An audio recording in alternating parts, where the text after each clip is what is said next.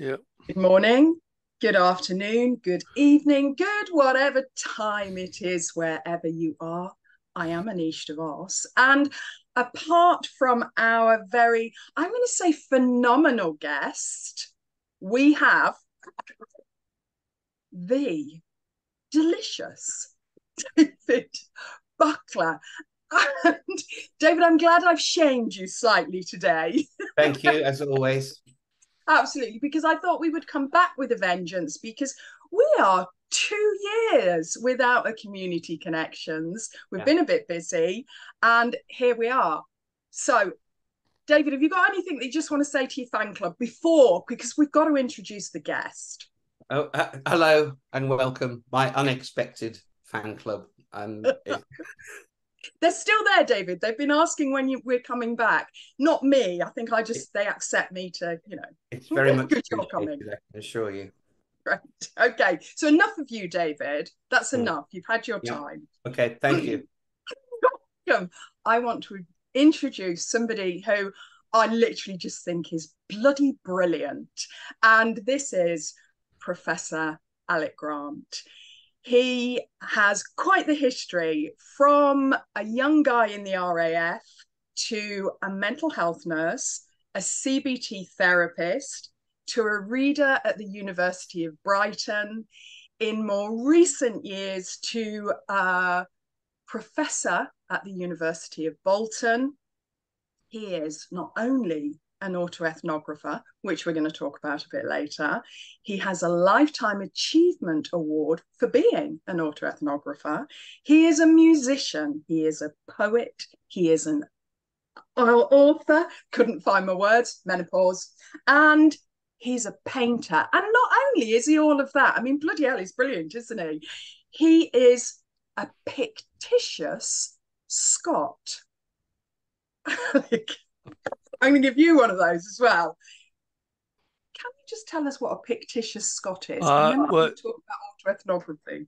Well, it's a actually Pictish Scot. It's oh, uh, uh, when um, the the Picts were um, probably the the indigenous peoples of the north of Scotland, mm. and and when Ptolemy, uh, the Roman geographer, uh, described Scotland, he described Scotland's many tribes and uh, Pictland was was an area in the northeast of Scotland. It came further down, and Picts were called Picts by the Romans because of Picti, or which meant painted people.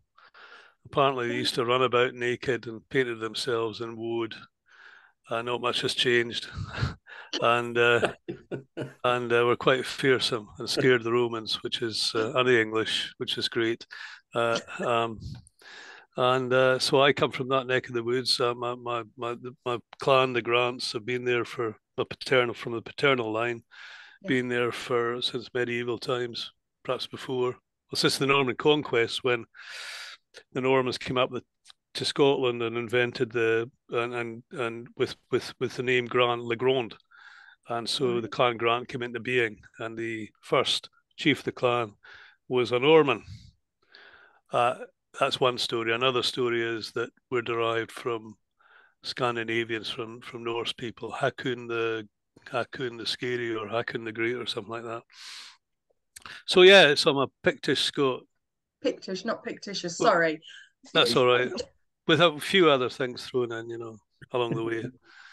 I'm going to keep claim, claiming it's my menopause brain. That's what I'm going to say. Don't worry, it's all right. No, no, it's okay. No probs but actually, I make mistakes like that all the time, and David quite, well knows quite, I do. It's quite a nice, it's quite a nice portmanteau, fictitious. You know, I'm yeah. not really. I'm a fiction. I'm a Pictish fiction or something like that. exactly. Uh, yes, we've kind of elevated your status. That's right. So... I might disappear at any time. Yeah. yeah, yeah. It might be the connection as well if I'm a bit more uh, prosaic about it. Yeah. But go on then.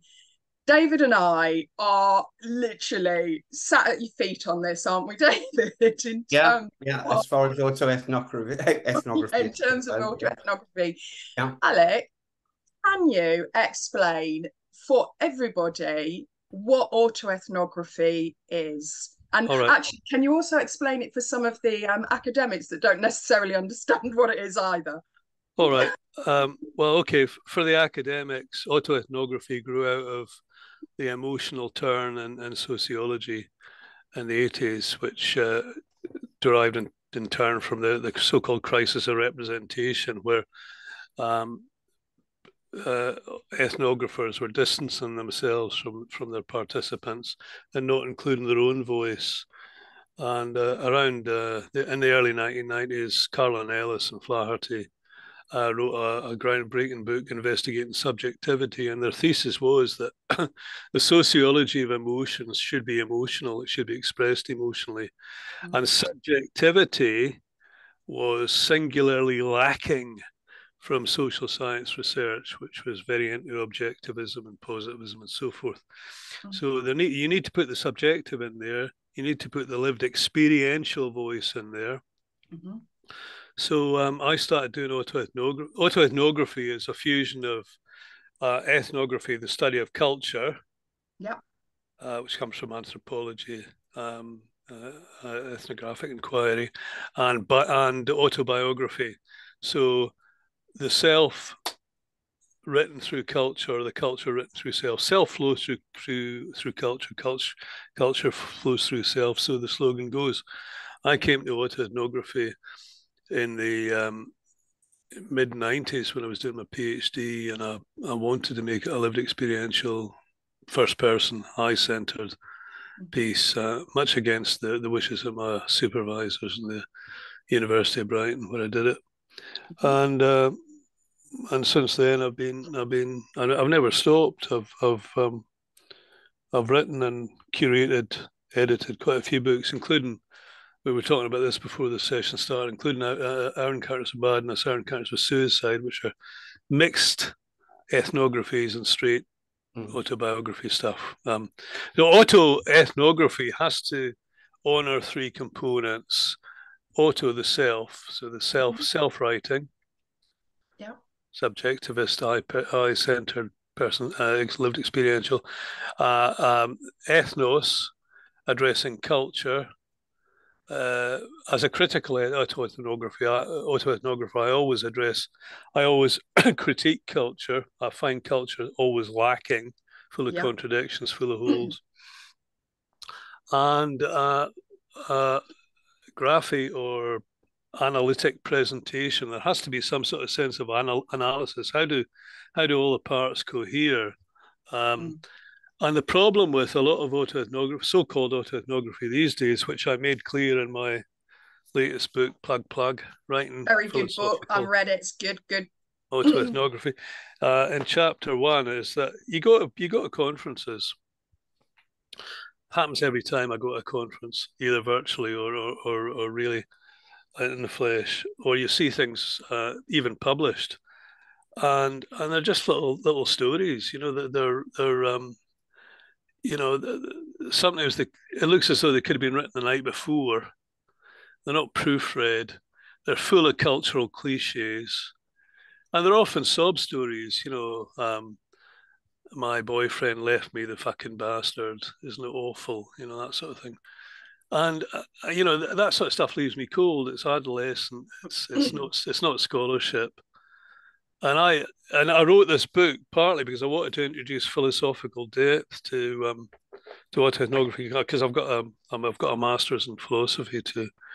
Um, so uh, yeah, and so I you know I've done quite a lot. Um, I've I've I've I, I I write autoethnography across so-called mental health, but loads of other other areas too, including qualitative research training uh, at university. Book uh, level. um, and I want, m- m- most recently, I want to help people be able to tackle autoethnography seriously, not just imagine they're writing autoethnography from knowing knowing absolutely bugger all about it and yeah. just writing a story about themselves, um, which is usually culturally celebratory rather than culturally critical. They don't, they're not cr- critically reflexive enough to begin to look at to ask themselves the question what do i think about the way i think and what do i think about the way i think about the cultures in which i'm embedded they often write in praise of you know mental health or their organization or whatever. So I wrote this. Um, I wrote two things.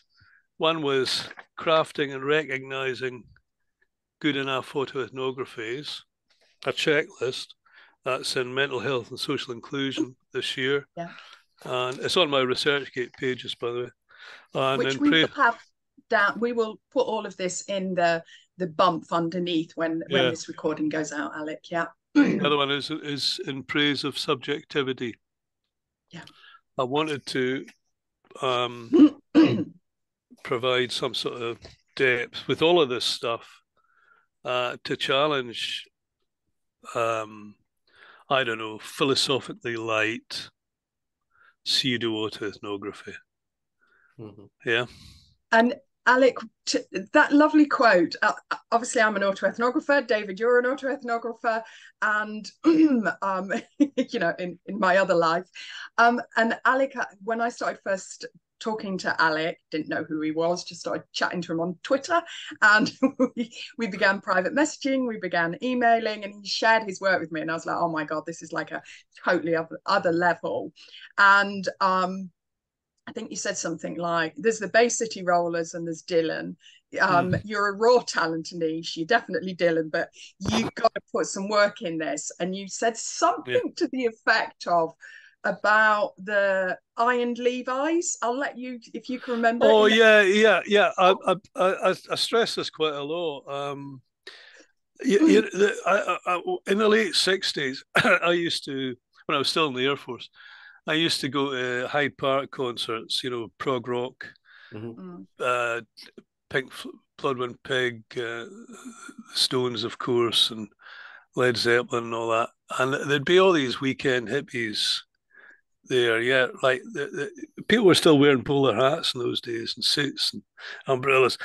and these people, mostly quite well off, rich, uh, young, youngish men, maybe a bit older than me, maybe towards the thirties, but they, I was in my late teens at the time, but they, they, um, they had on all the gear, but the, the gear was smart, like iron Levi's, you know, new Levi's, rather than scruffy old thing.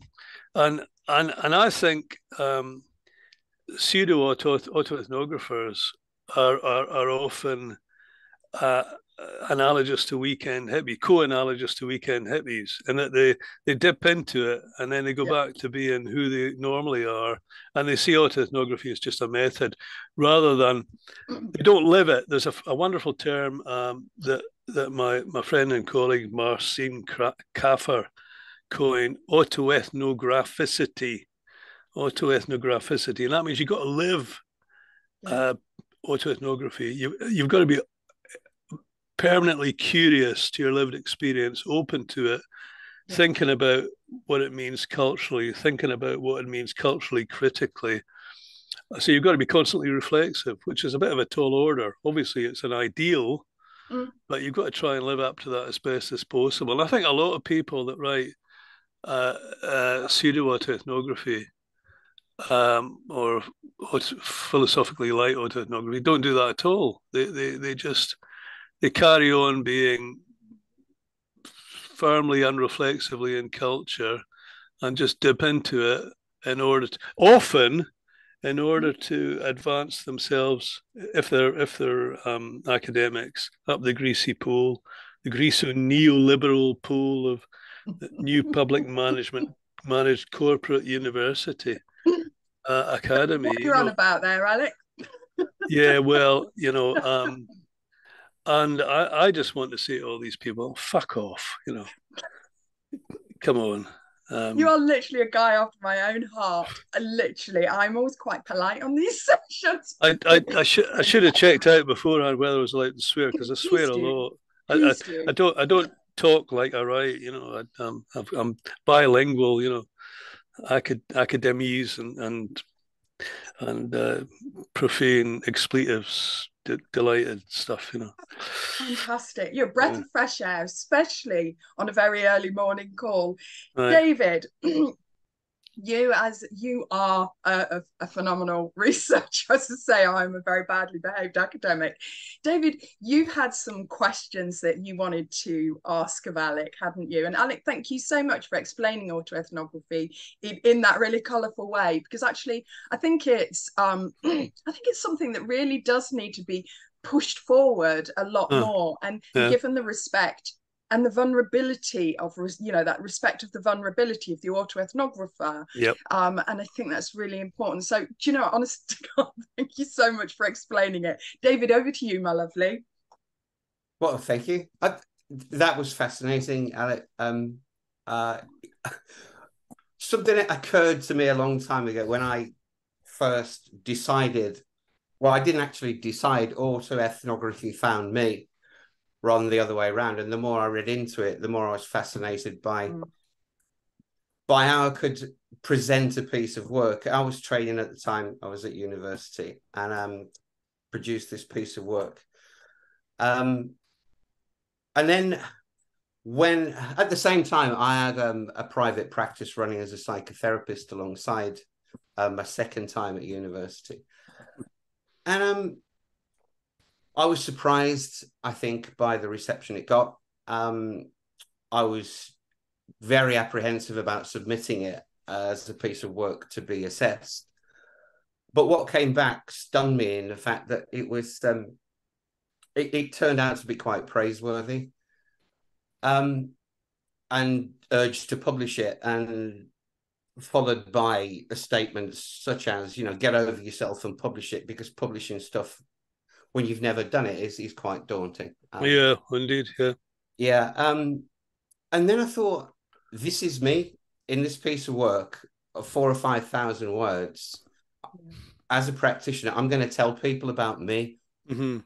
What's going to happen to the practice, knowing my faults and all of my foibles. And it was it was a bit of a real expose. That's what I thought was a good OTT, but done in the true spirit of ethnography as I saw it at the time in my naivety.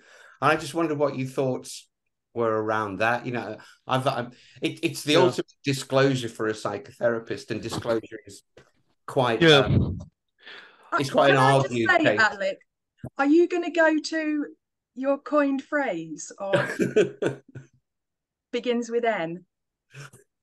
What's I don't want to narrative entrapment. Are you going to go in there? Oh yeah, yeah. I'll, I'll, I'll yeah. I'll, I'll Sorry, okay. I'll, I'll, I'll, I'll, mention that. Yeah. Um, well, my thoughts on what you've just said, David. Um, uh, several several thoughts. Uh, one is, um, uh, yeah, if you take narrative entrapment generally, that means I, I call it cultural narrative entrapment. Now I'm I'm I'm doing I'm, I'm, I'm taking the work further. No, it's okay. Um, uh, you, wouldn't know that, Anisha. I'm just I'm just starting, but I I think people are caught up in cultures and caught up in stories about culture and caught up in stories about themselves and cultures. And one story is that when you're presenting yourself as a psychotherapist in print, you should be talking about um, your um, your your your clients and maybe an abstract disguised, ethically disguised, and so forth. Um, uh, but you shouldn't be talking about yourself. Now I think that's that's awful, really, because I think that's a form of narrative cowardice where you uh, want to. You, first of all, you I see a lot of, and I, I saw this when I was a I was a practicing cognitive behavioral therapist, but I was also the course leader for the masters in cognitive mm. therapy at the University of Brighton, and um, and I saw this. I was interested in psychotherapy generally because my master's was in broader than CBT, my first master's. But you know, you get people present, and they still do it on Twitter. That they're virtue signaling. That's the term all the time.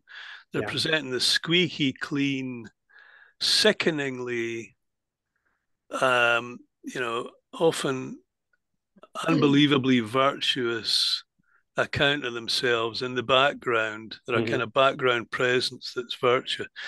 And I think that's rubbish. I mean, therapists, and when I was a therapist, I didn't like all the people I was trying to help. Some of them I didn't like at all. Some of them, and you, you see all these things, but you know, all my clients are lovely. I'm, I'm I'm you know jazzing up now, but they're, no, they're not. Some of them are bastards, uh, and and uh, just awful people, and and and and neither am I. Yeah. Uh, uh, you know, I am. There's a term Caledonian anti-syzygy. Anti-syzygy means um, good and bad dueling in a single Yeah. entity. I'm I, I'm good and bad dueling in a single entity. Why should I present myself? Why should I not present myself? That's a big question. Yeah. Yeah. Why should I always write about others? It's a kind Yeah. of benevolent, Yeah. empathic violence because I'm colonizing them all the bloody time Absolutely. and and culturally appropriate and I'm culturally colonizing. And why should I Yes. pres- if, if I do present myself? Why should I present myself as Mr. Virtue? Because I'm not. no. And you can you can you know I, I know where the bodies are buried, right? I was I was um you know I got to know a lot of top top notch uh, you know top of the tree Mhm. fellow of the um, British Association of Counselling and Psychotherapy people, and I said to one of them, he's he's I'll not mention his name, but he's he's really big in psychotherapy. Um, uh, I said to him, look, you know,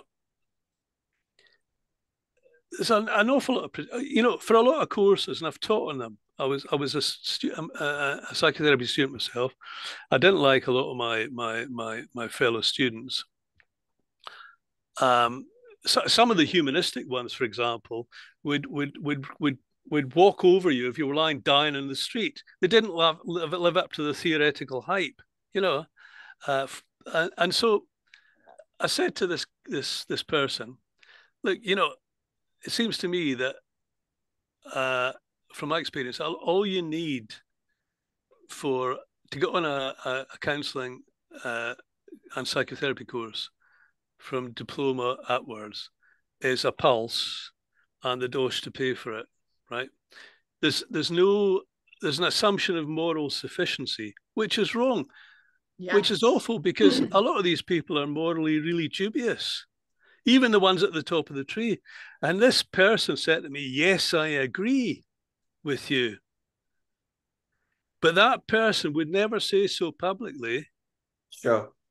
They would never say so publicly because it would undermine their fellow of the British Association of Counselling and Psychotherapy status. Mm. So, you know, you got to call out bullshit. Yeah. And I, you know, nothing terrible can happen to me now because I'm, a, you know, I'm, I'm, I'm not, I'm not a member of any, I'm not in the BACP anymore, the BABCP anymore. I'm, I'm not a practicing therapist. I'm not, but even before that, I started to to call that out, and I started to introduce the subjective voice of my clients and my cognitive behavioral therapy textbooks. Nobody else was doing that. Mhm. Uh, assessment and case formulation and cognitive behavioral therapy, 2010, I think, Sage book. I, I introduced the, the, the you know I had little mini autoethnographettes from my, from my um from my clients. Nobody else was doing that. The second edition that I wasn't involved in, other people took over. Um, they didn't do that either. You know, they, they reverted back to type. You know, Yeah. keep us separate. Yeah. And I think you know, I just yeah, Yeah. There are so many things that I relate to what you just said. yeah. So I would say to you, do not be and Aneesh, you. I would say, do not be at all afraid of calling out contradictions. Yeah. Um, and and and presenting yourself. Yeah. uh, In your in your work, um, you do that already, Aneesh. I know that because I'm not particularly liked. You know, I don't always like myself when I write. I can look at myself and coin your phrase and think, God, you're a bastard, Aneesh.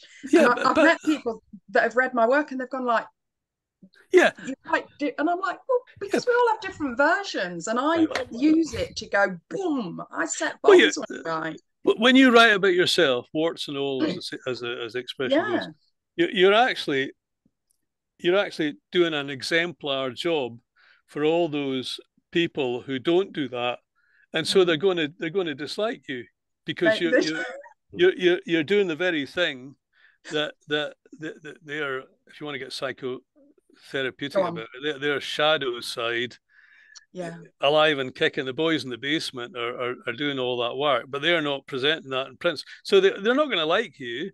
No. But would you want to be liked by these people? I wouldn't want to be liked by people who didn't like me for for for for saying these things because I wouldn't think they were worthy of being liked from my end, you know, or respected. Yeah, I think it, it it's it's a tough one, isn't it? Because you walk into the ethics, and you know, I hold my hands up. I can read me and think, you know what, that's not your best side there, Aneesh. But I've I've I don't know, I'm quite I'm, prepared to write it if you get what I mean. Um, but it, it leads into the ethics, doesn't it? And, and David, we've had conversations, and Alec, we've obviously had conversations about the ethics of this because, you know, how it's it's not just the ethics of the other people because of course you know as you alluded to uh, earlier when you're writing about clients you might you know put them anonymize them etc um, but it's it's it's so it's the ethics of the other people that you will be writing about because you cannot write a story just about yourself because you That's don't right. live as a small entity with with no interaction with other people but right. i also bring it back to the ethics of self as well you know yeah, self-care yeah yeah and i'm i'm really hot on this about self-care about yeah. writing yeah, about yourself because I know you've now said it's culturally narrative entrapment as well, but it is that kind of and that leads back to you david what you're saying well that's then me in there and and what is my identity I have multiple identities. You know, this is not a psychiatry thing. I have multiple identities. You know, I'm a mom, I'm a therapist, yeah. I'm a trainer, I'm a co-producer with David of this. I am a woman. I have so many identities. I am right. somebody's family member. Right, right. So Right. Well, I think one of the things that gets missed out a lot is the ethics of self care of one's integrity. Yeah.